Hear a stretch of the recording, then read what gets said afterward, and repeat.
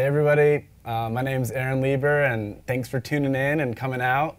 I want to first just thank uh, B&H and G Technology for having me here out here to New York to share my film and uh, talk a little bit about kind of my process becoming a filmmaker and kind of how I got to where I'm at today. Um, this past summer, I released my first feature-length documentary called Bethany Hamilton Unstoppable. We released in 205 theaters across the country, and we're top 25. It's kind of cool experience. So, um, but today I, I want to talk about uh, four kind of main subjects. And after each subject, um, maybe take one or two questions. So if you're online watching, feel free to write in a question and I'll try to answer it. And if I don't get to it, hopefully I can at the end.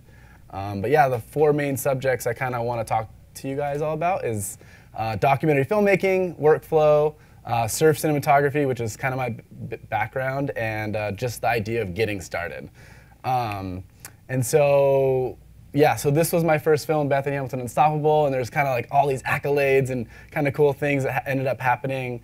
But before I kind of dive too far into it, I just want to note uh, I didn't go to film school. I don't really feel like I know what I'm doing, uh, but I think you can do it too. And um, and so, on that note, um, you know, when you want to get started into a, a film like uh, like Bethany's, you first got to like get you know find your subject and really um, get to know that person and build that trust. Um, and so before I get too far into that film, I want to play the trailer and then we'll we'll talk more about it. The Climate Prediction Center has issued an El Nino advisory. This could be a hurricane season for the record books. A solid run of northwesterly swells will charge Hawaii. If someone tells you they're not scared out there, they're completely lying. Paddle surfing, it's all about you and all the preparation that you've done in your life to be where you are in that moment. I've heard people comment that it would be so hard with one arm. I don't want that to be my reason for not trying. You decide to go out there, you decide to take that wave, and there's implications in that. There's a ton of risk. It's literally the most beautiful wave to see in person. It's mesmerizing. Oh, I see this handsome guy. Who's this guy? I didn't know she had a relationship going. She wanted to get married. But you guys didn't even like hang out that much yet. When she said she wanted to do Jaws, I had no idea what she wanted to do. I surfed out there two or three times and the place is so scary. Yeah, I don't think she needs to do that. Oh my gosh, when you're in impact zone, you seriously think you're gonna die.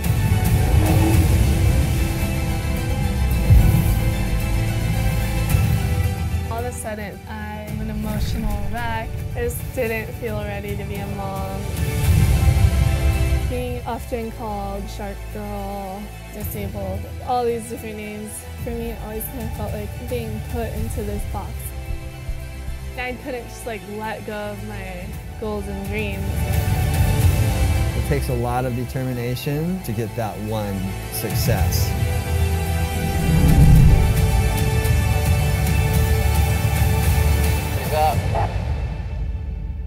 I mean, I never thought I'd ever see this. I mean, this is beyond.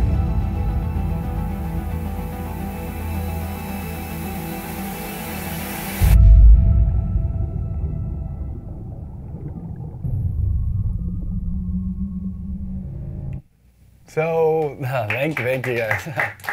so that project obviously turned into this, or is this, you know, big 90-minute feature. But I quickly want to, you know, walk back in time a little bit. Like, how did I get to the point where I was able to make this big film uh, and felt confident to do it? So I, you know, I first started kind of filming and shooting my friends skateboarding and surfing and snowboarding, and would make videos in high school for English class, and was inspired by like a lot of surf filmmakers, Bruce Brown. Taylor Steele and like documentary filmmaker like Steve James. Um, and yeah, so that was, I just kind of started as, as, a hobby and really wanted to kind of pursue it later on in life, but I wasn't sure how. Um, and when I got to college, um, my mom asked, actually suggested like, hey, Aaron, you should get an internship with a surf magazine, and you know maybe you can get your foot in the door. So I was like, oh, that's a great idea, mom. Thanks. And shout out to mom. Uh, so I ended up getting an uh, intern at Transworld Surf Magazine, which um, kind of gave me a groundwork of under, to understand a little bit how the surf industry worked and how to meet surfers and start working in, in that space. And um, my last two years in college, I made my very first surf film called The Pursuit. Um, and it released in 2008, which was, you know, maybe not the best economy for a surf film. So like, ah, like, that's a, you know like bad timing and um, but it, it, gave me this this groundwork to then eventually a few a year later get a job with Nike and uh, which led to making another film leave a message um, and then which led and, which led to another film that I made called uh, Zero to 100 with Lakey Peterson um, and during making Lakey's film that's when I met Bethany and Bethany was like this incredible athlete and she and she was that you know most people maybe knew her for the loss of her arm in a shark attack and and that sort of stuff. So I it was back in 2012 that I pitched Bethany this idea like oh you should make or we should make a you know six to eight minute short film. And um, she was like, yeah, yeah, cool, whatever. And then a year later, Lakey's film came out, and she loved it. And she's like, hey, let's do a project together. So I was like, okay, cool, let's do it.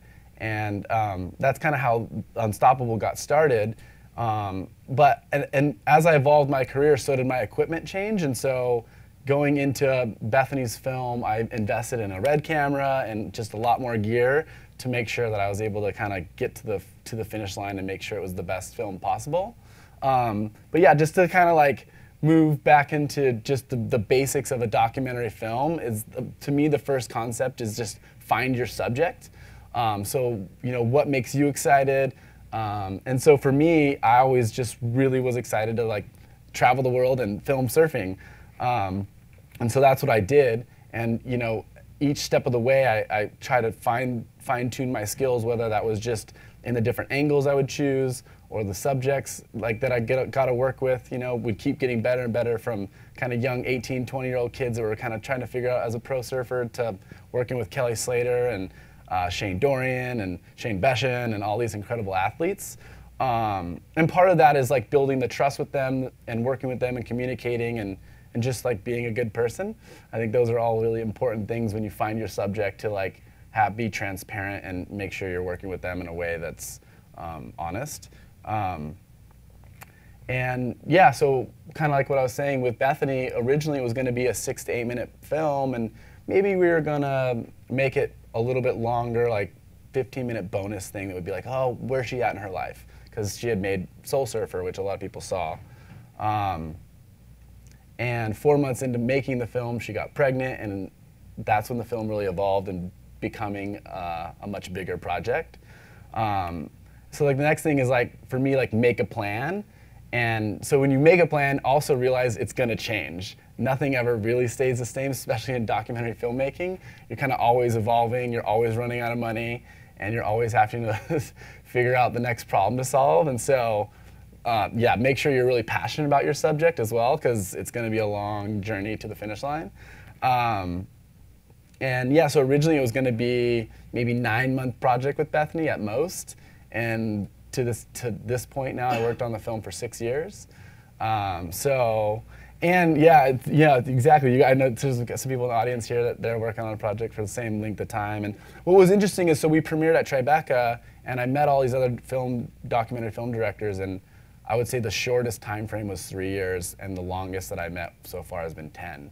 So I think, you know, good documentaries take three to 10 years to make, and, you know, being passionate and consistent, and, um, and again, just making a plan. But know that plan's going to change. But if you don't have some kind of groundwork laid for yourself moving forward, um, you can kind of get stuck. Um, you know, like what are the things you fear? What are the things? What are the obstacles you have to overcome? Write them down and find and find solutions. Ask for help. I'm constantly googling things and researching and um, yeah, you, you just like there's no right or wrong way. I don't think to find the finish line. You just have to find the solutions that are working for you and and at some level, you know, outline the budget and then go find a team.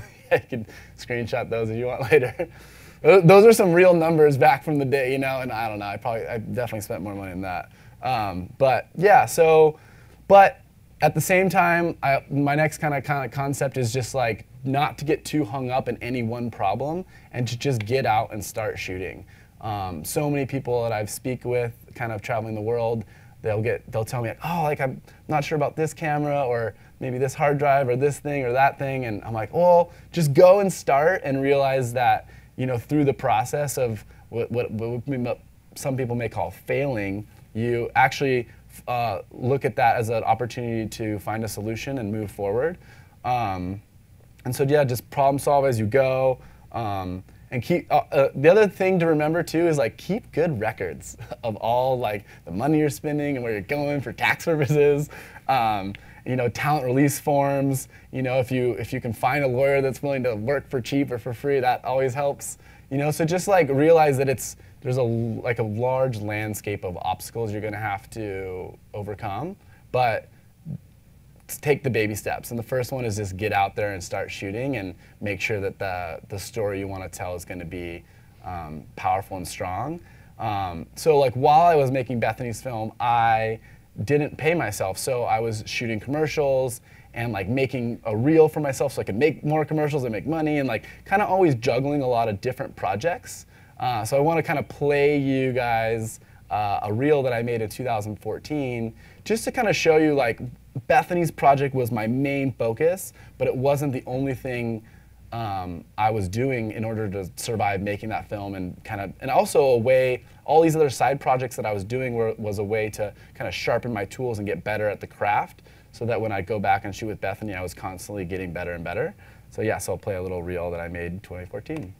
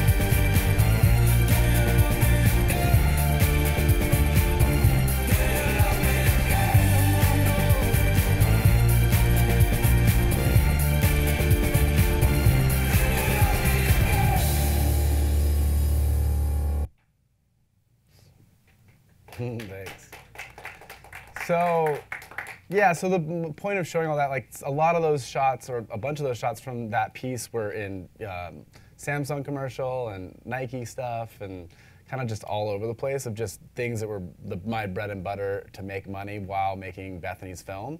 Um, and so for four years, I took on the project just to shoot and gather as much content as I could with Bethany and keep the budget as low as I could. Um, and initially, when we were raising money, Bethany's sponsor, she's a pro surfer, so her sponsors kind of kicked in some money. We ran out of that pretty quickly, and we, then we did a Kickstarter, which is a great way to um, you know, crowdsource fund your movie. So we did that, and that got us through about four years of filming. Um, and then I realized four years in, like, okay, I got this, I have all this amazing material, I need a team uh, to really get it across the finish line.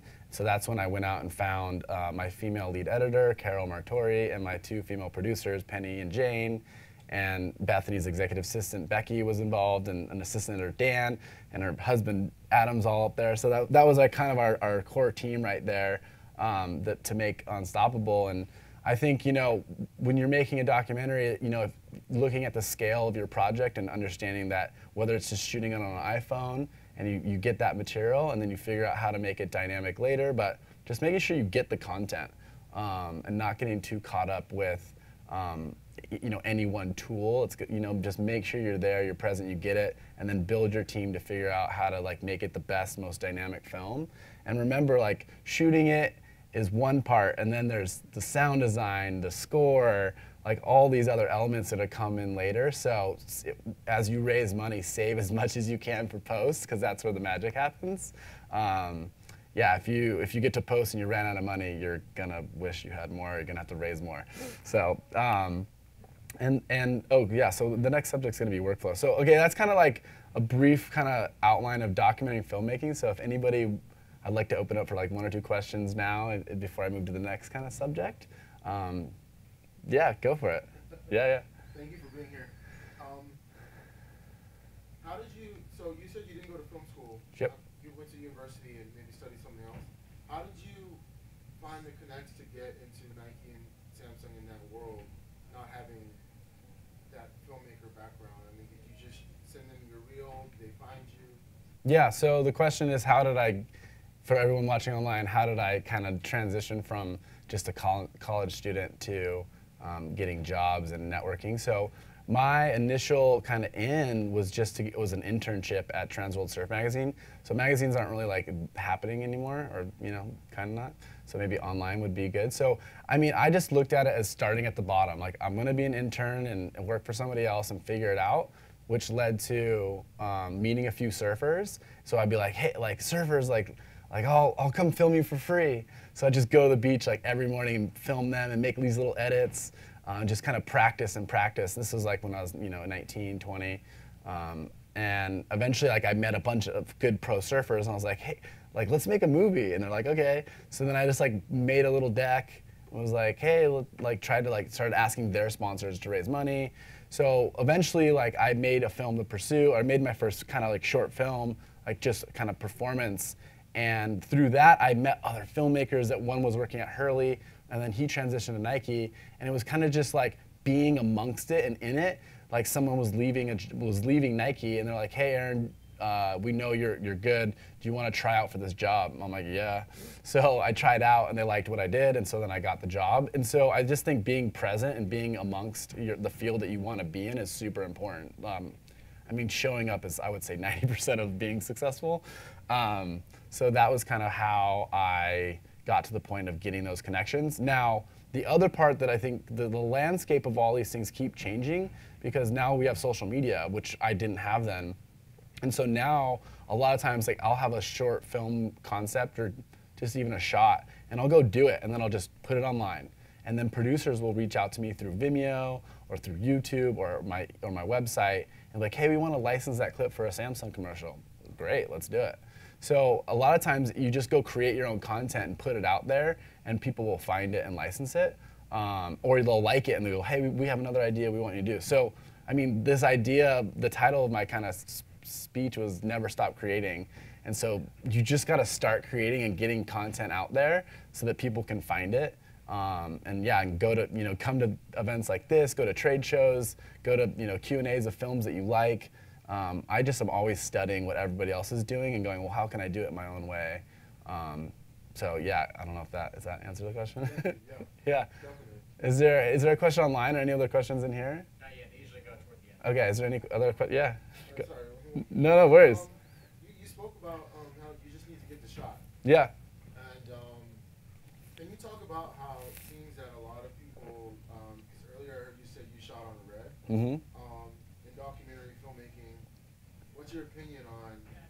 I mean, it seems like all your shots are so well done, but you know, when you said you started out, was it six years ago or, or seven? or Yeah. Well, the cameras that exist now can kind of go toe to toe with that. Sure. So I'm just wondering what your opinion is in the whole, you know, shooting on this camera versus this camera when you're doing this kind of work. Yeah. Does it matter? Does it affect the end result? Do um, people who would be interested in your film go, no, we're not interested because you didn't shoot her on the red? Sure. So the question kind of is like, what camera should you choose, and does it matter?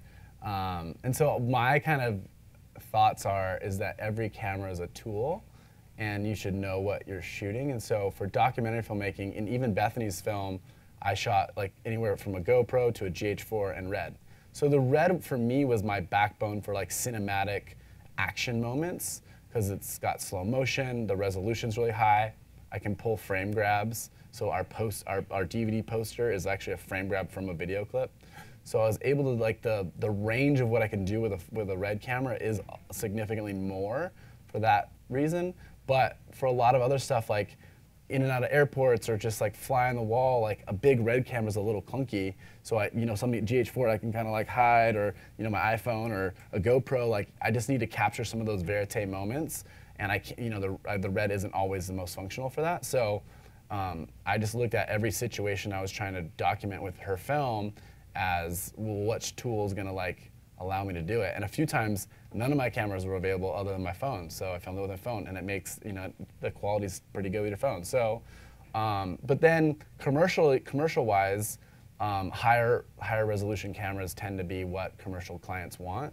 So that doesn't mean you can't get a moment on a Sony or you know the Canon or any other camera, and, and that's to your point, and kind of what I'm saying too is like the cameras are all so good these days that like people I hope people just don't get caught up in the camera thing because they're all good. Just get a camera and start and then go, oh, if, if I need a different a certain particular shot, maybe you rent a, a more expensive camera. What I also found for to backtrack a little bit to Lakey's film is I shot that all in a GoPro 1 and a 7D and uh, Netflix licensed it, so it was on Netflix. And um, but right towards the end, I was like, man, I kind of need to like make this thing a little bit cooler or like more cinematic. So I borrowed a friend's red camera and we shot maybe like a few like opening sequences with a red, and it kind of tricks your eye. So because we opened up with these like really beautiful cinematic moments, then we kind of went into lo- lower resolution, but your eye kind of remembers the beautiful stuff. So if you kind of mixing both like all the mediums of the cameras, you'd be surprised. If I played Unstoppable for you now, you wouldn't know the difference between the iPhone shot, a GH4, and a Red, because it's like your eye can't keep up, um, in my opinion. And but you need that baseline of like a strong, I think, a strong cinematic camera for certain moments, or at least I did, and so that was why I would pick each camera. It goes right to my question.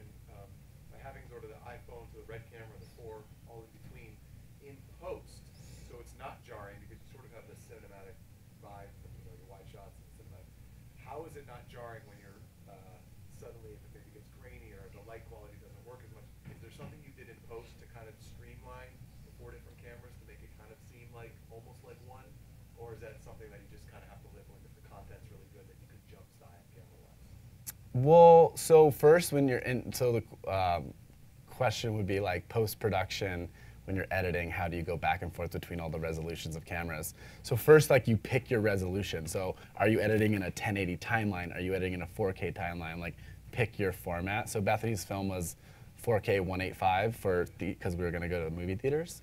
Um, but yeah, so first you can just pick your format. Now everyone you know wants the 4K, wants the 4K, but you don't necessarily need to do 4K because you know not everyone's still streaming in 4K. 4K. So you know 1080 timeline, 4K timeline, whatever it is, pick your resolution, and then so for me with red footage, I have I now have an 8K red, but at the time it was 6K, and so you can you can punch in on your shots, you can kind of do what you want with a red, and then we would cut to Bethany's archival footage, which was shot like on mini DV or high eight or whatever it was, and we would go back and forth, and it's pretty.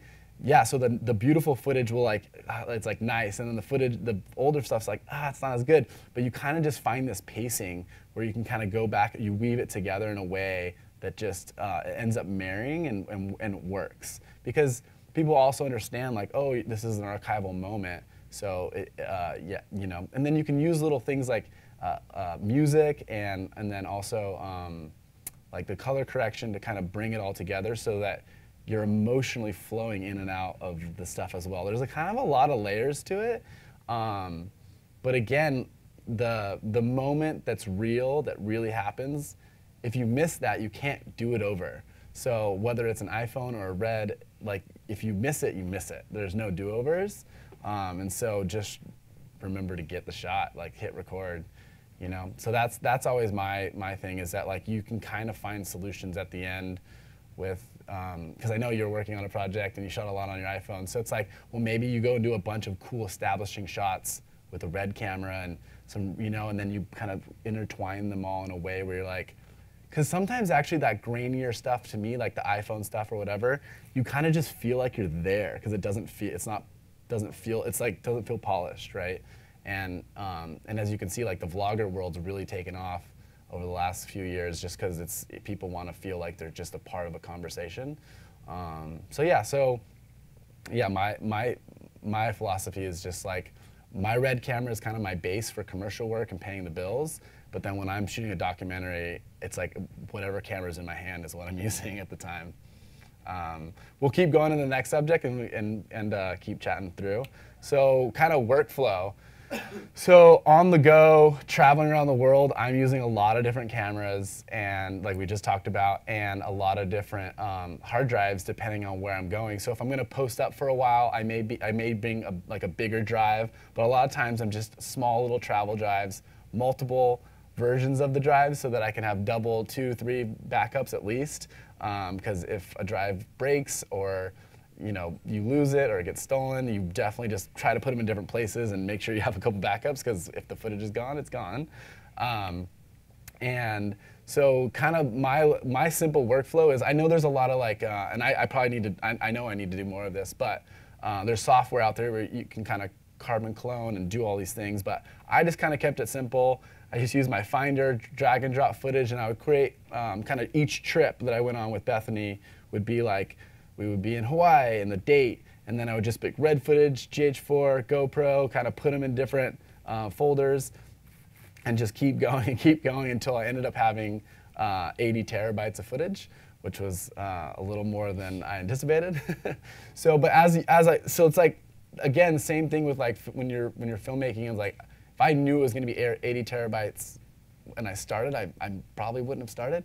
So not to get too hung up with like where you're going to go and stay in the present. So I just would buy these smaller um, uh, G-Raid travel, the silver travel drives, and keep evolving, evolving until I finally got to the shuttles, the XLs, where they're like 64 terabytes, 80 terabytes, 96 terabytes, and you know, and we have four different backups of all of 80 terabytes as well because I had three editors and we had to have edit workstations. But again, if you kind of think about the where you're going too soon, you could kind of intimidate you and get scared. So yeah, just make sure to stay in the present of, you know, okay, all I need to do right now is make sure it's backed up once or two, times, uh, two times, three times. Keep them on small drives, and then when you go to edit, you know, you can scale up to, you know, a little shuttle or whatever it may be um, to, to keep that process going. Um, yeah, does anybody have any questions? question online, actually. Yeah. Uh, Hayden is asking, uh, how do you guard against your content being stolen? Ooh, how do you guard against your content being stolen? Great question. Well, I, um, I think that probably has to do with maybe cloud storage, but I mean, my, my hard drives aren't online, so the only way they could be stolen would, would be if someone literally stole my backpack with all my camera gear. Um, so I always just keep, I guess I would say I always keep my hard drives close to me and try to keep one drive somewhere else, whether that's like my parents' house or in a lock safe or you know, somewhere somewhere separated. Um, uh, but yeah, and then cloud storage, I guess you just got to pick somebody who's got like encryption and all that sort of stuff. But even you know, you look at like I think Sony got hacked and people get hacked. But um, yeah, I, I, I think like you just if you're not if, your if your drives aren't connected to the internet, I don't know how they could steal it other than like actually physically taking it. And also, I think to elaborate on the question as well, once your content has been finalized and you start getting it out to the masses, how then would you monitor your content for copyright issues and things of that sort? Yeah, so once you finish your project, um, like first, like you actually submit it to the copyright office, um, and then you know through you know these different platforms, whether it's Vimeo or whatever it may be, you password protect it, and then I would change the password every, because you have to send out the link to like people to review the film, all these things. So every you know couple days, I would constantly change the password, and um, but yeah, I mean that's always a scary thing. I also think it's like if you're not, I mean, I guess this is a weird thing to say, but if you're not like a big Disney movie, like I don't really know who's coming after me trying to steal my content. Like that's, I just, I mean, I'm barely making money doing it, so they're gonna steal it for I'm not sure what purpose, because uh, they're not gonna make any money off it. So, um, but then the other really important thing would just be simply watermarking your, your film. Um, so yeah, the, the link online that I would send out always had a watermark. Um, and then it's copywritten. So those are, I guess, the two ways that I would recommend protecting your work. Um, but yeah, I mean, like, usually when you get to a certain level, which I don't feel like I'm at, you'll have like a whole IT department that would kind of cover that. Um, so as like a film director, I guess I'm kind of doing all of it, but I, but um, yeah, I don't really feel like anyone's gonna like steal my project. I just wasn't too concerned about that. I mean, I, am more concerned like my camera's gonna break or I'm gonna lose a hard drive, you know, or something's gonna like bad like that, like a fire, you know, like some kind of hazard. Then someone's gonna try to hack into my computer and steal my, my movie. But I guess it's possible, so good to good to be on it. Any other questions? Sure. So you said you it's about 80 terabytes for your entire film. Um, so you had another 80 terabytes uh, like copied somewhere else, or was it 40 and 40? No, so yeah, so the film in total is about 80 terabytes and I had four copies of the film on different drives so that I'd have one bay. Uh, I didn't have the time to kind of figure out a full server system where like all my editors could edit off one server. That stuff's a little bit easier to set up now than it was when I was editing at the time. Um, so you can set up now like one set of drives and everyone edits off that, off that set of drive. But at the time I just didn't have it, so I had uh, three different bays set up for, for different editors, and then one bay that was just offline, stored just in case something crazy happened electric, electric with, with my house, which it kind of did actually. Um, because my I live in an old apartment, so and I also get like I recommend like with these big systems getting like a CPU like battery pack so that like say your power goes out or something happens, your hard drives can keep running and you can safely shut them down. Um, yeah, and so yeah, that's that's that. Any other questions? Keep going. Um, cool. So shooting from land um, in surf filmmaking is probably the easiest place to start for anybody. And when I'm going to go to the beach and work with any kind of surfer, I'm always always like to talk to them about like, well, where where are you gonna uh, where are you gonna sit? What is it gonna be a right wave or a left wave? Like, what are the conditions? And, and chat with the athlete about maybe what kind of uh, trick they want to do per se. So this shot that I'm kind of showing you right now actually took me three years to get, which is kind of crazy. Um, this is a frame grab from a video clip. Um, it was shot, I believe, 8K maybe, and um, yeah, and part of the, the, you know, I want this kid. I've been working with him since he was 10. His name's Noah Beschen, and he's now 18 and I really always wanted to get a shot where this the lighting was this way and he would do a huge big backside air. So some of the obstacles are like he's got to deal with other surfers and you know these are real waves happening so some, you know all these conditions kind of have to come together. But I had this vision for a long time to get this moment and so yeah so three after three years of kind of trying, uh, you know we finally finally nailed it and um, but that's the fun part of like you know sometimes getting out there and shooting surfing or documentary filmmaking you can have these ideas they take a lot of time but once you get them they're, they're so worth it and here's another shot from land where i wanted to get this lifestyle moment i was actually driving back from getting some food and the waves really big. The lighting was nice, and I could see this the waves crashing on this rock. So I ran back to the house, got Noah, and we went down to the beach, and I was like, hey, like walk out there. And so we walked out, and we like just nailed this moment with the whitewater kind of blasting 60 feet in the air behind him. And I've tried to recreate the shot a few times, and just the way the sand was and the way the lighting is, like I actually don't think I'll ever be able to do it over again. It was kind of a one-of-a-kind moment. So, but again, these are some of these, all these shots that I'm showing you were things that I had thought about in advance. So like I, you know, pre-scout and pre-think about a lot of the ideas that I was trying to do, and um, and then you kind of have to wait for the moment with weather and, and, lighting and all those types of things to kind of make it happen. Um, so yeah, and then this shot um, was shot back in 2013, and it was one of the first shots that I got with my red camera. So it was like this Black Friday huge swell. Um, and the way, when the waves get really big, uh, there, there, there's a mist along the like when you're lower, and, and other waves kind of get in the way. So I went up on the third story of a house and made sure I got up high. So this moment is John John Florence, and everybody got the shot of this. Everyone got it, but my angle was kind of the most dynamic, and um, and it ended up getting the cover of uh, Surf Magazine. Um, and and then Hurley actually bought it, like did a full buyout, and it was like billboards and kind of just all over the place, all from a frame grab from a video clip because of the high resolution of the red. And so it was just pretty cool to like, you know, thinking ahead, like, okay, the waves are these conditions, like what, what kind of like moment could I potentially capture? Now, I could never predict that this would happen, but I knew that if I positioned myself in the right place, I could give myself the best opportunity to kind of capture that moment. Uh, and I actually shot this 4K, 120 frames per second. Um, and so yeah, the video clip's pretty cool. And on that note, I'm kind of like showing you guys like this was kind of the chaos of my life back then. Uh, um, I haven't always been the most organized, to be honest. And um, but I think that's like part of the journey of you know becoming a better filmmaker uh, is becoming more organized. But yeah, along the way, I just kind of would buy these small drives. Um, and I'm now so I'm now a G Tech ambassador, but at this time I wasn't. I was just I just loved the drives. Um, and yeah, this was kind of what my setup looked like back then. Um, yeah, so that's kind of like shooting from land. Is there any other questions before I go? I'm going to talk about shooting from the water next, which is kind of more fun. But any quick questions about shooting from land online here? Sure. Did you always have your um, camera um, protected from the mist from the water? Yeah, so that's a great question if my camera is protected from the mist. So yes and no. So like you can put things over your camera to protect from the mist, but there's just so much salt water in the air. The big thing I do with my red is uh, like there's a fan that sucks cooler air in, and so I kind of try to put something in front of that so at least it's not taking direct salt water in.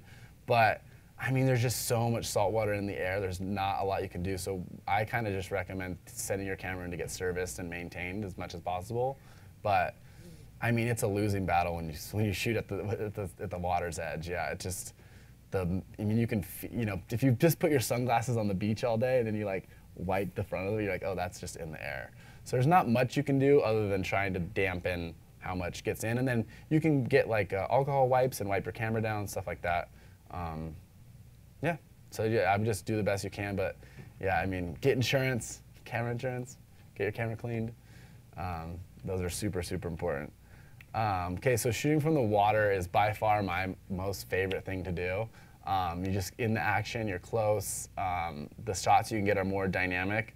So I'll play you guys a little clip of.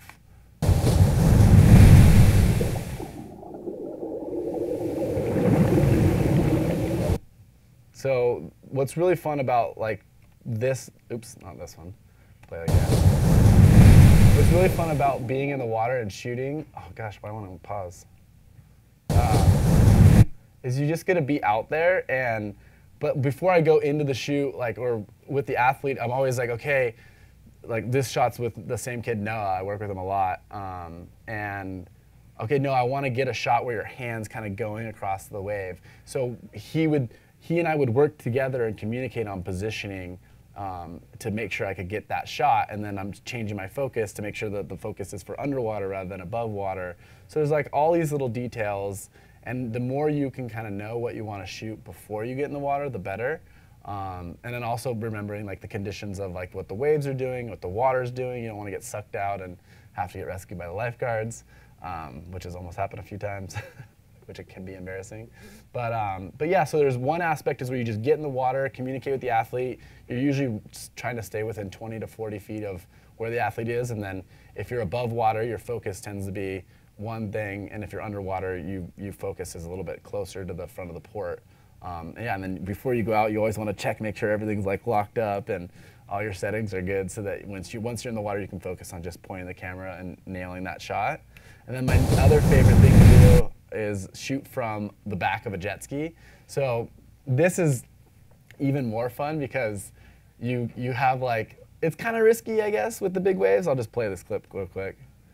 But it, it you get these like so it'll switch to the actual shot. So you get these really dynamic motion type gimbal-ish type shots, but I'm just squeezing with my legs to hold on for dear life and and then using my kind of body as like a mini tripod monopod.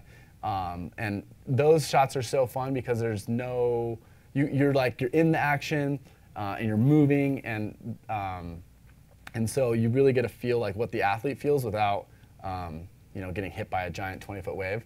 So to me that's like the most fun. Uh, and then the last bit is just like kind of lifestyle and cinematic moments. So this was a shot I did with Bethany in Tahiti. Um, and I just like, I always kind of feel like Bethany is like this mermaid. So I really wanted to just get this cool shot where she was kind of floating to the surface, kind of in like a poetic way, I guess. And we were actually chasing whales during this kind of moment. And the whales got, the whales got away. So I was like, oh, let's like try this other shot. She's like, okay, cool. So kind of try to capture some of these kind of fun, fun cinematic and artsy type stuff. And which leads me to kind of like working with your talent. And so for me, it's always about first and foremost like building some sort of like groundwork of a friendship and making sure that you know what what are the boundaries. So I work with a lot of female athletes, and so what are they comfortable with? What are they not comfortable with? And really like opening a dialogue to make sure we're communicating in a way that uh, is obviously professional, but you know, and then at the same time, just making sure it's fun. Um, and then like some basic things like with athletes, like uh, I always make sure that I'm on the beach before them and I leave the beach after them. So, you know, a lot of times we, I've been on shoots where it's kind of getting dark and everyone's kind of bailed, but I kept staying on the beach and the, the surfer would do some crazy trick and everybody left but me and I got it. So, you know, and same thing vice versa. If you're not on the beach before they are, they could paddle out and their first wave could be their best moment.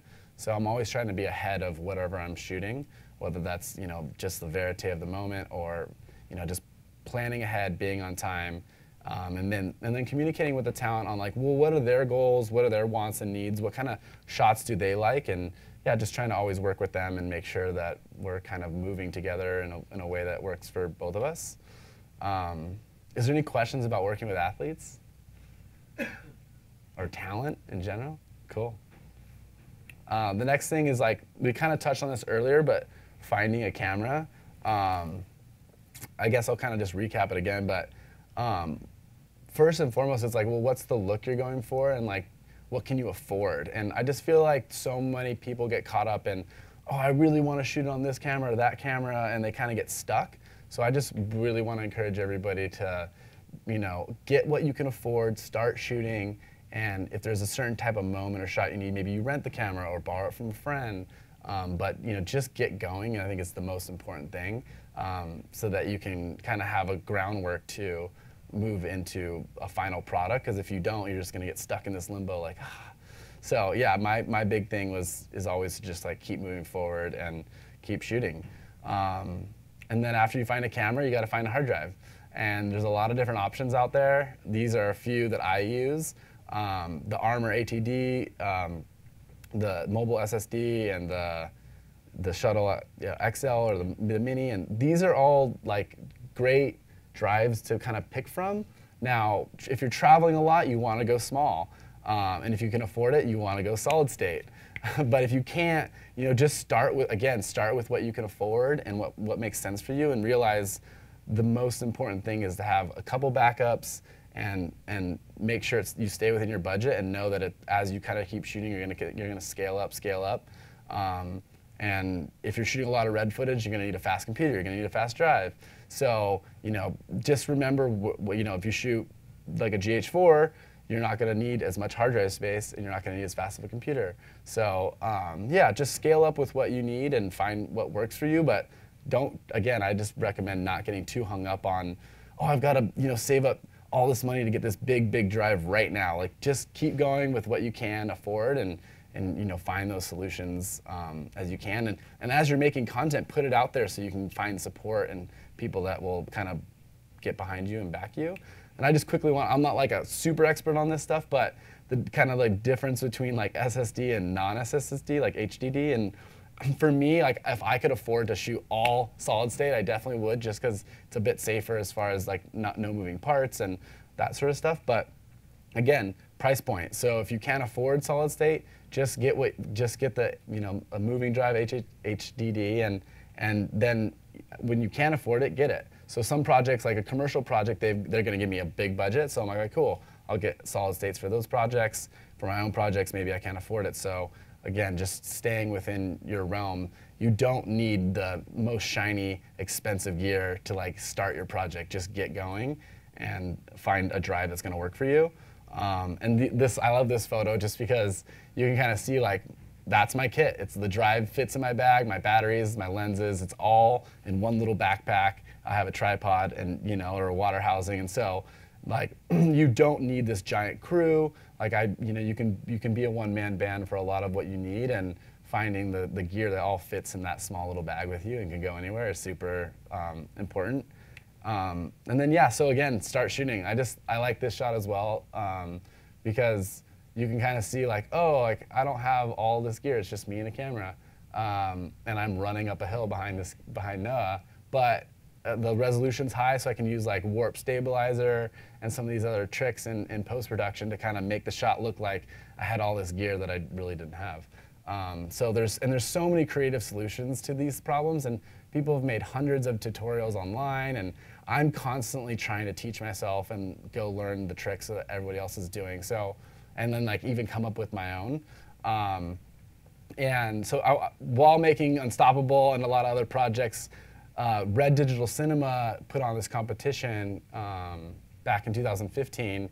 And so I made a project called The Wild that I want to play for you guys. And it ended up um, uh, really kind of like jump starting my career even before Unstoppable happened as far as getting more commercial work and fine tuning my skills for like cinematic type staged ish type moments. So, yeah, so I'll play that for you guys now.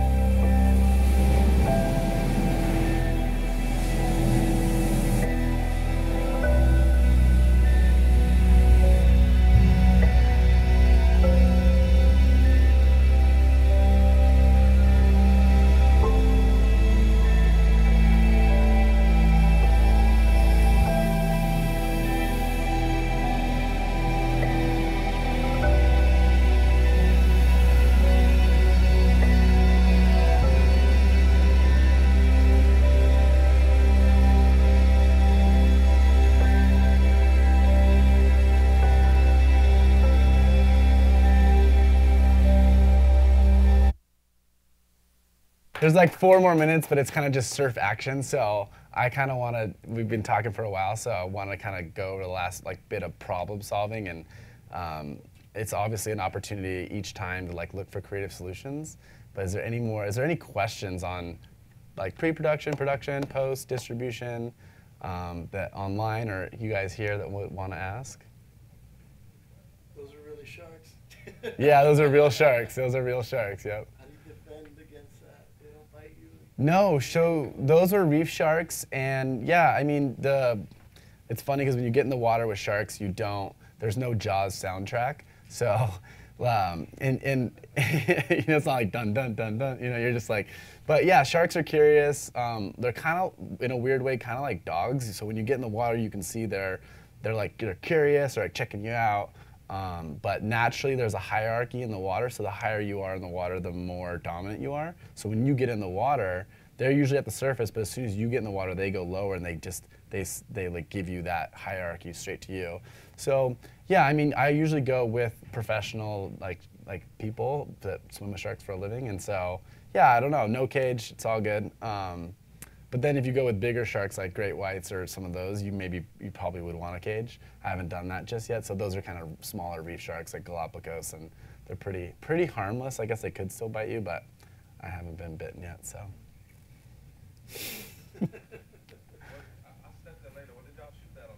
Uh, I shot that. It was for I shot that was a piece called uh, The Wild that I shot for a competition for Red Digital Cinema. So I shot it all on red with. Uh, uh, I was shooting with Canon lenses. Yep. So like 16 and 35, 100, 400, and uh, probably 24 to 105. No cinema lenses, no. I just kind of got some cinema lenses recently, but yeah, all DSLR. So yeah, you can do a lot. What's nice about the DSLR is it's they're, they're light, you know, and you, just that run and gun style. I mean, the hardest part with DSLR for video is just the shallow focus. You barely nudge it, you're like, ah, it goes out of focus. So I think like, you know, figuring out that and learning learning um, how to figure that part out is kind of a little tricky. But I mean, I love the run and gun of just DSLR for sure. Thank you, man. Appreciate it. Yeah, thanks, man. That was stunning. I, um, it's uh, it's nice to have you here because, like I said, I've been working on a documentary for a while, and you just remind me that I'm, I'm normal. Yeah. Thank you for sharing all this information.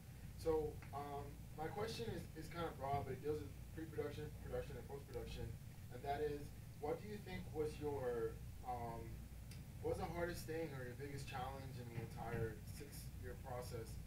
What is the thing you could go back and tell yourself, this is what you should prepare for, and this is you know what you should look up, what you should be um, ready for. For me, it would just be just know that it's going to take a long time. That doesn't mean that your project's going to be, you know, not as good because it's taking so long. But I'd like to know from you, what is the thing that you would you say, you know, get enough hard drives or only use G technology or Sure. So what's the hardest thing? I guess is your overall question, but like, I mean, so I would say, like, the four topics that are four idea, you know, pre-production, production, post, distribution.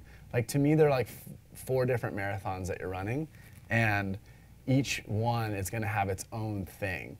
And and so for me, it's just finding what's the truth to me that's making me so excited to make this film, and just internalizing that like okay i'm making it because it's gonna this film means this to me or it's gonna mean this to other people or this is what it represents. So first and foremost like as you hit those obstacles like find your grounding of like why you're doing it.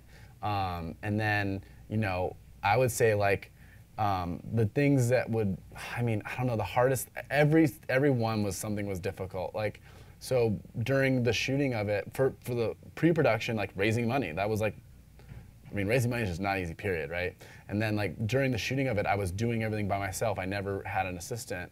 And then for certain job, for certain like moments when Bethany surfs at uh, Jaws, I ended up having five of my friends film a helicopter, we, like water safety, like this huge kind of production for that moment. Um, but I kind of just looked. At, I kind of just tried to always stay present. Like, like I could see the future. Okay, I'm, I'm gonna need to do these things down the road, but I don't look too far ahead because if I did, then I would kind of overwhelm myself and panic. So I was always just like, okay, what can I do today?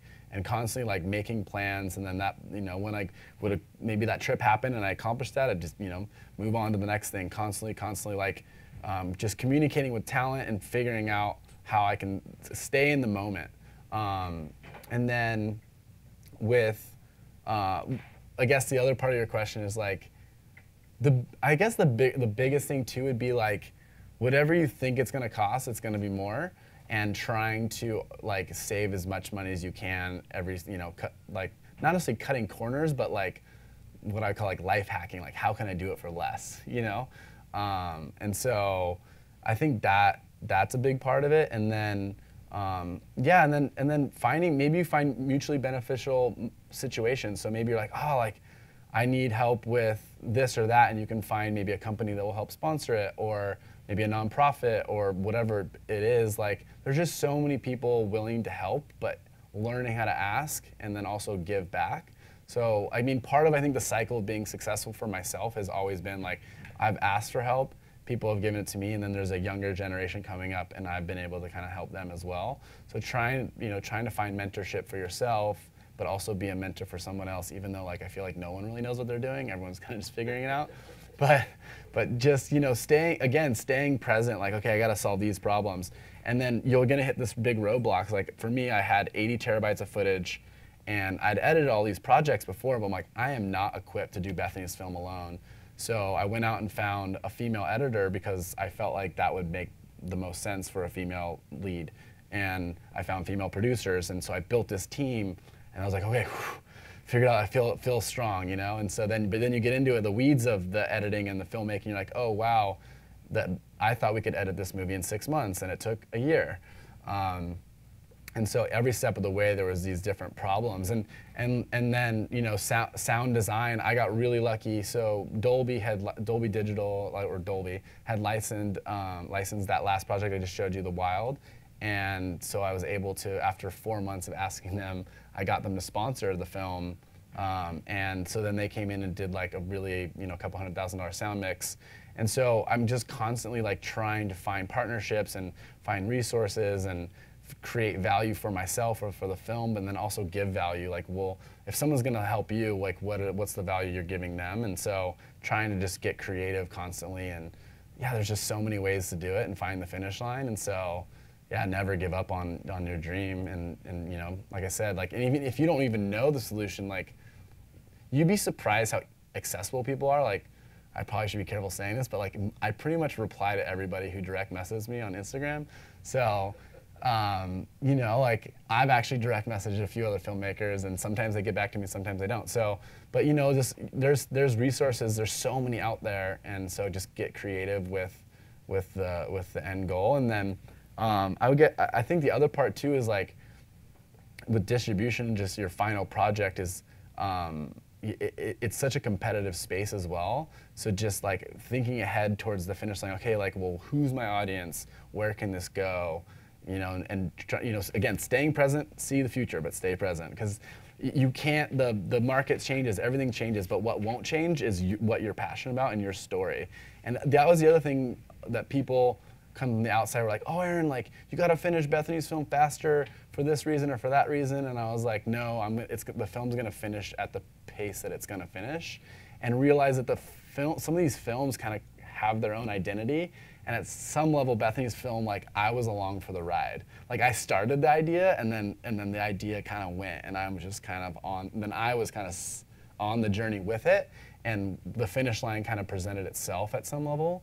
Um, so yeah, so realize that your film will kind of kind of snowball to a point where you're like, okay, like you're on the journey with it now, and it's kind of semi in control, even though like you're in control. But you kind of just have to like let a story evolve or maybe you, you, you run out of money, so you got to take a few weeks off and figure out the next solution. So being patient, um, I think, is a really, really important tool in the kit of finding the finish line. You have a question? Yeah. No worries. So I know you hired three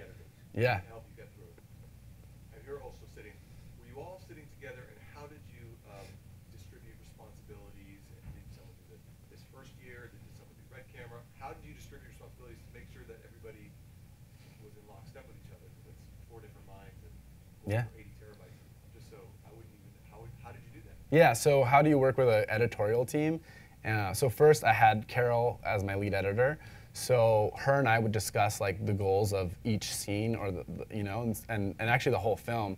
So first and foremost, Carol and I mapped out a three act structure and we mapped out Bethany's entire story on paper first. So we had a strategy and plan of like what we needed to accomplish. And then she started tackling a certain portion of the film and we would delegate scenes to these other editors. And as they would work on the scene, say we would all work maybe half a day and we'd have lunch and after lunch we'd all watch the scenes and talk about well what, what, what's going on in that scene? Why do we like that? Why what, what's not working? All four of us would sit together and watch each each computer is different. Like there's th- and i even was editing at times as well on my own fourth bay but um, yeah we would sit and we would just sit and go over that scene and and then they would go back to work. And then maybe they you know a couple hours later they felt comfortable to like reshare a scene. And so then we would all sit together and we would communicate well what what's working what's not working and we just did that i mean every scene in unstoppable was probably edited and re-edited at least 100 times if not more. Um, yeah because it's what so so you're kind of like piecing together a 90 minute film. So it, it, you know you're editing all these things and you put it together and you're like well actually if we move this scene here you know so we kind of edited bethany's film linearly and then we we like that's kind of like a little boring. So then we decided to like bookend things and look and mess with the structure a little bit to make it flow more. So it's kind of like a feeling process. There isn't necessarily a right way to do it. It's just like we would just find, and then uh, ultimately, like Carol went through the entire film once we got to a certain point, and she would touch as a lead editor. She went through everything and made sure the pacing was the way she wanted it paced. Sure. So every each scene was done, and then you put it on one big timeline, and then so then when so when you put it on one big timeline, and then you started you know changing the puzzle pieces of each scene.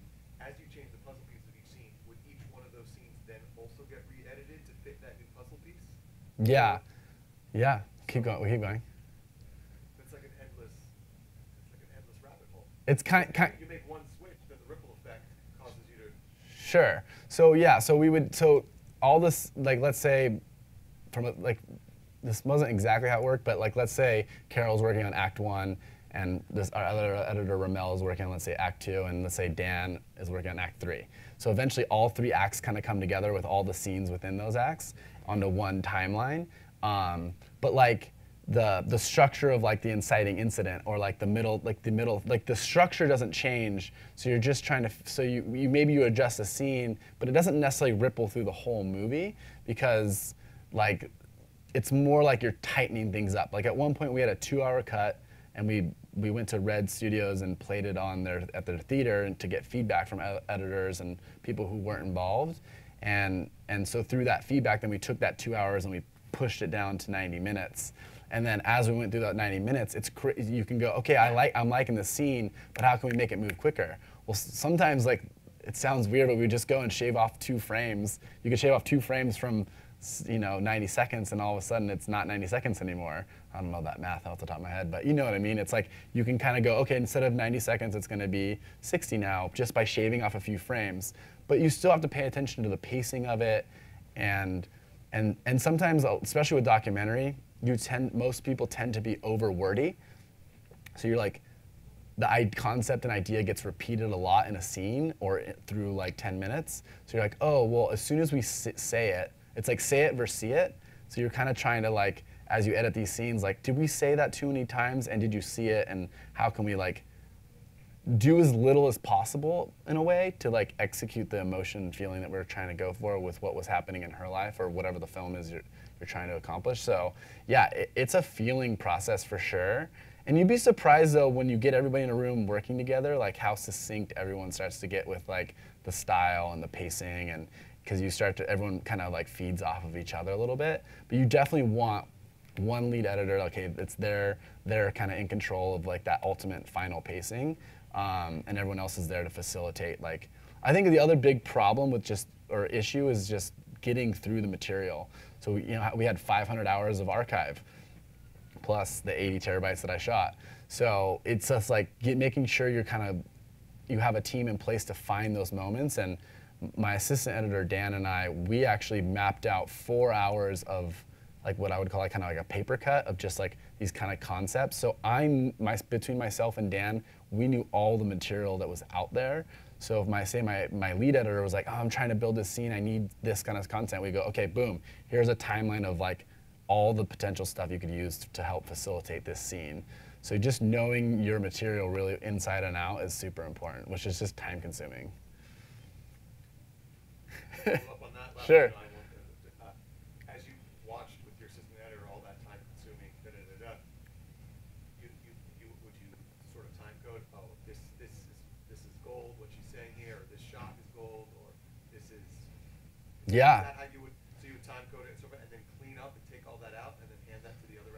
needed? Yeah. So for so how I guess how do I the question is like how do you work with your editor on like what you like and don't like? And so with Bethany's film, because she's a pro surfer, one thing I would do on my own was I would go through all the surf action footage and I'd pick all my favorite moments. So I, I left all the material there for her so she could see it all. But then I would like say, you know, on a timeline you got multiple levels. I would put my favorite moments on like level two or level like maybe level two is like my second favorite moment and level three is like my favorite moment. So I'd kind of give her a vision of what I was going for, and then we had all these interviews interviews. And so a really important tool is like transcribing. So there's a website rev.com. You can transcribe all your interviews and use and use that to like build a baseline of of like okay the, this interview goes with this and it's really it can kind of get really complicated and that's why having a lead editor who really has a vision for taking all your like i've got thousands of ideas so i kind of like unload those ideas and she helps me kind of work through that material and work through the ideas and kind of make it into a cohesive story.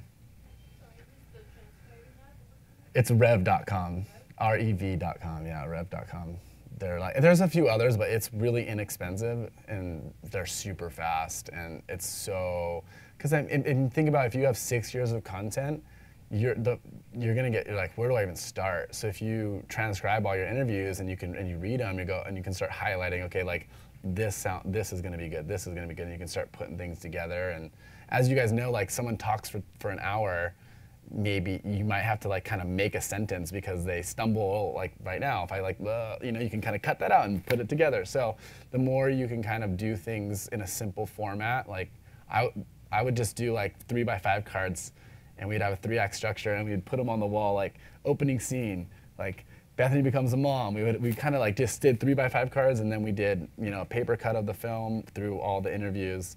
And yeah so it's just like a constant process, and that's where I think the, the the secret is having a lead editor who can who can help you take your vision to the to the finish line because those are for documentary filmmaking that's what you really really invest your money into as a good lead editor. Yeah. Where did you shoot um, the majority of this footage? So a lot of stuff I've been shooting is in, mostly in Hawaii, but then some of it was in Indonesia, Fiji, um, Costa Rica, Mal- Maldives. with talent to those locations just to get the waves? Correct. Yeah, so I travel with the talent, whether it's a commercial job or um, a competition. So a lot of pro servers are like Bethany would compete at like lower trestles, or she competed at Fiji. So I kind of like I would tag along and um, capture her doing that. And like Bethany ended up getting third place in a Fiji event, and she's like breastfeeding her new boy and beating world champ surfers and I'm kind of a fly on the wall, kind of documenting all that. So, yeah, you just kind of I've been fortunate to kind of get into a specific industry like surfing.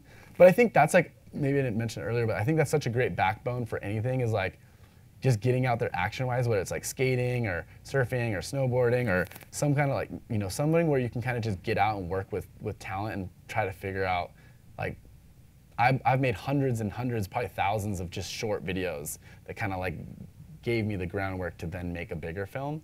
Um, and so, yeah, the more practice and you can do with small projects, the easier it'll be when you get to the bigger one. Um, and and again, like, and I'm constantly like listening to podcasts and just like researching things because it, you know, there's the, the more I learn, the more I understand I there's so much more to learn, right? It never really ends. And so, yeah, but again, not getting too hung up on that and just like have fun with it and keep pushing yourself. Yeah. How scary was it with your friendship with Bethany actually showing the film? Did you show that to her with an audience, or did she have a private screening? Did she have any say? I imagine Yeah. not. That's one of my biggest concerns with my subject Yeah. Sure.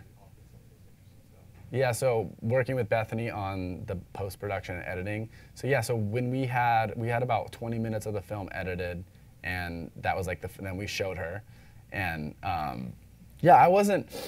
I feel like I knew her so well that I, for the most part, wasn't too worried. But then every as we kind of dove deeper into the filmmaking process, I would send her a new cut or a scene every probably a week or two, and would get feedback because I just felt the more she saw these different scenes and could it would be more authentic. Like yeah that's really what happened. That's how i felt during that time whatever it was going on. So yeah i was kind of always in communication with her through the entire editing process. Um, not all talent will give you that much of their time so you have to kind of work with their ability and schedule and then sometimes like talent also may not know the process of filmmaking so you have to be a little careful maybe like, oh, I shouldn't show them this just yet because they don't understand like there's going to be sound design later and all these other things that are going to change how it feels. But Bethany's been involved in her own production of content for her whole life, so I felt comfortable sharing with her and communicating. Um, oh yeah, and, and, conflict. Yeah, I mean, uh, there was there was definitely times when Bethany and I didn't agree on something. So you have to, um, you know, I, there was a point where I didn't sleep for you know two days, but through that, I found a creative solution. We, we kind of cut it, and, and then she liked that solution, so we were able to move forward. So for sure, with any project, you're gonna have conflict with your characters, and but I mean, there's duality, so you can be like, oh, like, darn it, like I don't like what their opinion is, but or you can go, actually, man, maybe I can get creative and still have my vision and their vision and find a new way. And every time that conflict happened, I actually think the film got better. So it's the conflict, you got to kind of lean into the conflict in that I think it's gonna, it ends up making your film better. Um, but when you're a creative, like the last thing you want to hear is like criticism, right? You just like want to, but the criticism, it's like, that would be, the, that would be actually, I'll say that I kind of built an, a, a group of friends that I will take criticism from, like my parents being one of them, um, and some other pro surfers, and, and just friends who are like kind of into film but know what I'm trying to do and like, oh, this is what I'm trying to do, and I play it for them, and if they don't get it, then I'm like, well, why don't you get it? And I have to like suck it up and listen, you know? So you have to like be willing to take criticism and willing to like listen to what works and is not working, and then and use that as like fuel to like make your project better. Uh, like I think the more most nerve-wracking thing for me was playing in front of 40 people in a movie theater without final sound and all those things because we had to cut out two or we had to cut out 30 minutes of the film to get it to 90. So we were like the whole time like just cringing because we're like you know because it's not mixed perfect and all that sort of stuff. So um, yeah, you, you just have to get over it though because the only way your film is going to be good is by showing a few people that you feel like are going to give you good constructive criticism uh, and be willing to take it. And yeah, I mean at the end of the day, the fact that anybody will watch it and give you their time is so valuable. So yeah, it, but it's painful for sure. Getting feedback is never fun, especially when you're trying to like you have your vision like ah, this is perfect. It's never perfect. never will be. Um, yeah, so I guess I want to play one last video for you guys. So I recently shot this with G-Tech, um, and it's just a fun kind of like way to maybe slightly to end and also sh share a little more of kind of my fuel and vision. And yeah, so I'll just play you guys this last video. I see a vision in my mind and I want to capture it.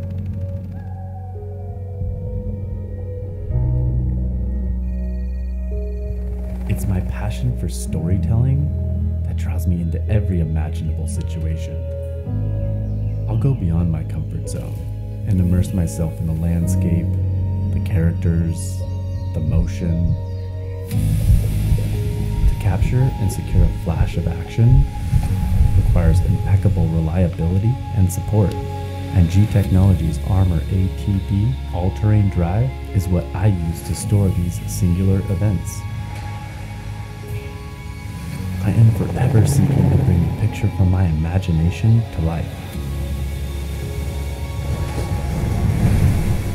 The thrill and satisfaction of capturing these moments is why I'll never stop creating.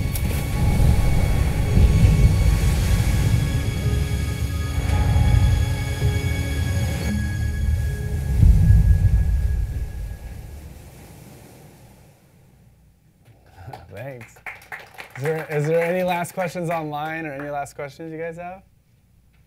Yeah. Um, I, I noticed you had it up there. I think I kind of cut you off. So I'm sorry. No worries. Distribution. Yeah. Um, how early did you start planning that? Um, one of the things that makes me a little nervous is as I've been sort of researching for the stuff that I do, pitching to like Amazon or Netflix or maybe even Disney now, who knows? Sure. Um, it seems like they have very stringent um, guidelines where they want you to shoot with these cameras and these parameters.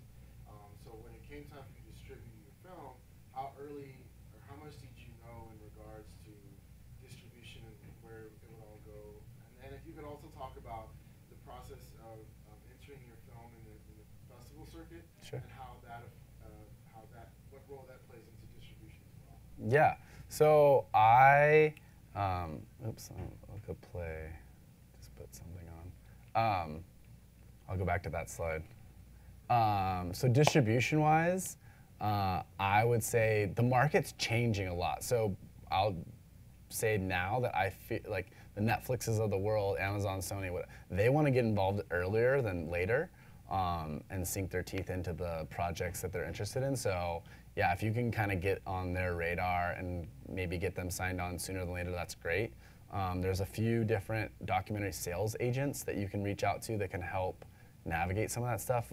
In, here in New York, there's Submarine, um, who was the sales rep for me on Unstoppable. Um, so yeah, I think like that first and foremost. Now, I'm not sure about the guidelines you're talking about of cameras. That may be more for feature films, but like you look at documentaries, they're shot on all sorts of cameras these days. So, and a lot of it's archival. So you, I mean, I think maybe it'll be more like, oh, we want this resolution or, you know, that or format type thing. But um, uh, yeah, I mean, 4K content, all that stuff's like, you know, really valid. But if you have a good story that has amazing archive, um, you know, it, they're gonna still probably want it if it's a good story. So, um, but yeah, the sooner you can get on their radar, I would say the better. Um, what was your other questions? There's kind of a lot packed in there. You hit it. I mean, I just kind of wanted to know how early. Oh yeah. So then, yeah. So then, festivals. So, um, so there's. It's interesting because I'm like still working with some friends, and it's like finish your film, then en- enter festivals. There's so many people, and including myself, where it was like we're entering Sundance, and we're like working towards this deadline. And having a deadline is really important to actually finish a project. Um, but I wouldn't get too caught up with like, oh, it's got to be in this year's Tribeca Festival or whatever. Just like make sure your film is like, because once it's done, it's done. You're not going, you're never going back. So be present with just making the best film pos- possible. And then if you have sales agents and those types of things, they can kind of help you try to present your film in the best format to the festival. But ultimately, you just go on, you know, Film Freeway or um, directly to the to the place and, and enter and and realize that I think in the top three festivals in the United States, Tribeca, South by, and Sundance, like over 30,000 films submit, and only one percent get in. So it's really challenging, and so but that doesn't mean your film's not awesome. There's just so many politics of like this year of the festival wants to do this genre of like type like the the market's always changing, and so um, yeah, your film your film can find its way to its audience. You just got to be hungry for it, and you know it's competitive. So. Um, but yeah, if you have a little teaser or something you can show Netflix or Amazon to get them on board early, the easier all that other stuff will be for sure. Um, yeah, I mean, I, I had never been, you know, in a major festival, so we premiered at Tribeca, and like that was such a fun experience.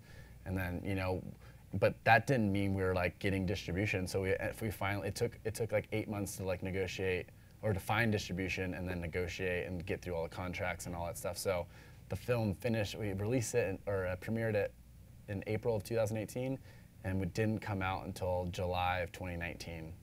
So it was like over a year and three months before we released from finishing it. So yeah, it took eight months to negotiate contracts, and it took a few months to um, to get a deal. And yeah, it's just there's a lot of content. It's really competitive, but like my journey is not going to be your journey, right? So everyone's like, there's going to be some films that are just like a hot topic, and they'll get picked up real quick, and you know, so there's just a lot of different reasons why things happen and move. And I'm I'm read I'm just started reading a book called The Alchemist. I don't know if anyone's heard of it, but I just started reading it. Yeah, I'm not a big reader, But like he- this, the prologue, he just talks about how like you know his his his audience didn't get found for a, a long time. You know, it took him a while. So just be patient and persistent and stay positive. And yeah, the sooner you can reach out to those people, the better. But they may not understand it. Maybe they go, yeah, that sounds cool, but we're not. You know, don't take no for an answer. You know what I mean? Like they just because they say no once doesn't mean you can't go back in six months or three months or whatever and present a, the same idea but from a different angle because maybe you're maybe it evolved probably did at that point so um, yeah just stay hungry and passionate and smile have fun. Anything else? Any other questions? Where are you from, man? i'm from california. Oh, you So- said that, yeah. yeah so i'm out california yep so i'm out here for a week and fly home tomorrow. Well thank you guys so much. This has been fun